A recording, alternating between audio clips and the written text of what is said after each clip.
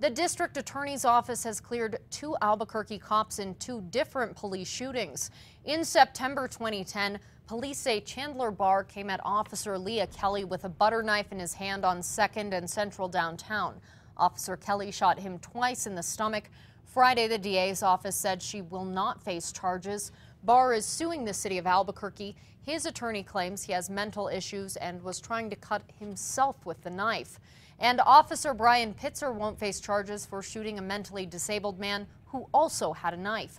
In November 2010, Russell Tenorio's sister-in-law called police saying he was drunk and suicidal. When officers arrived at his southeast Albuquerque home, they say he refused to drop the knife.